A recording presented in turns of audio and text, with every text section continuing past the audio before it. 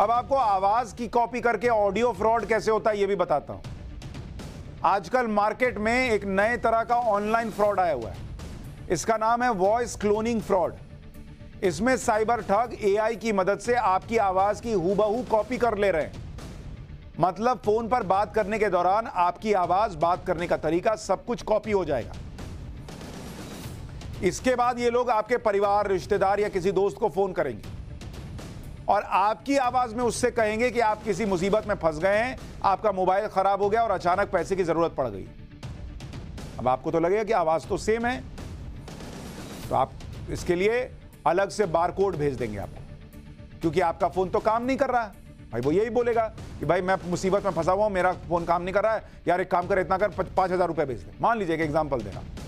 आवाज़ मैच कर रही है, आप फंस गए, पाँच हज़ार रुपए तो बोलेगा कि यार मेरा फ़ोन काम नहीं कर रहा है तो फलाने के नंबर से भेज रहा हूँ। तो आपको शक भी नहीं होगा कि दूसरे नंबर से बार कोड क्यों आ रहा है।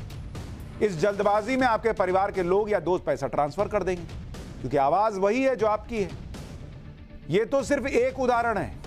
यह साइबर ठग आपकी आवाज़ को कॉपी करके बहुत से बहाने बताकर पैसा ट्रांसफ़र करवाते हैं, जैसे एक्सीडेंट हो गया, पर्स चोरी हो गया है।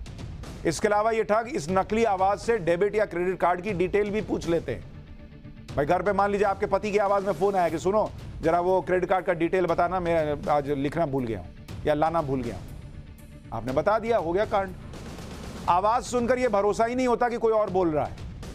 तो इसलिए अगर इस तरह का कोई फ़ोन आपके पास दूसरे नंबर से आ रहा है, जिसमें आपका कोई अपना फ़ोन कर रहा है और कह रहा है कि मेरे साथ ये हो गया, वो हो गया, मदद करो, पैसा दो तो उसको बोलिए रखो और फिर अपने उस रिश्तेदार के खुद के नंबर पे फ़ोन कीजिए कि तुमने ऐसा फ़ोन किया था कि नहीं।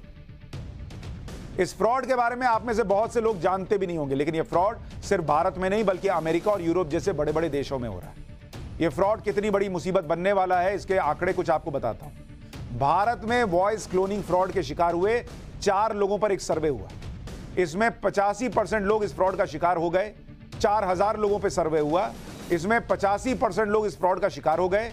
यानी ये लोग पहचान ही नहीं पाए कि फ़ोन करने वाला कोई अपना नहीं, बल्कि ठग है। सोचिए कितनी सेम आवाज़ होती होगी।